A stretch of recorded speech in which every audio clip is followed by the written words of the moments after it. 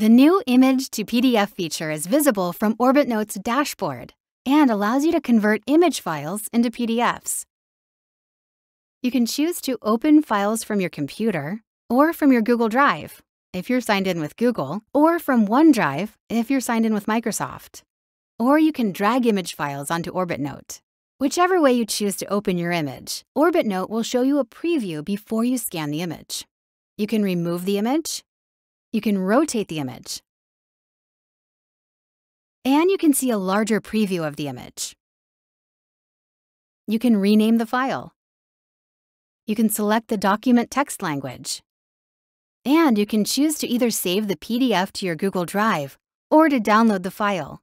When you click Scan, the image will be sent to OCR and you'll be given an accessible PDF of the image. Choose where you want to save it, and the image will open up in a new tab.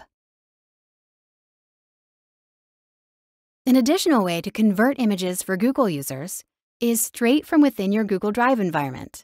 You can find any compatible image file, such as PNG, and right-click, Open with, and find OrbitNote in the list of options. This will show you a similar dialog to that from before, allowing you to rotate, preview, rename, and select the language for the file you choose. You can then click Scan, choose where to save the PDF, and just as before, you're given an accessible PDF in OrbitNote in a new tab.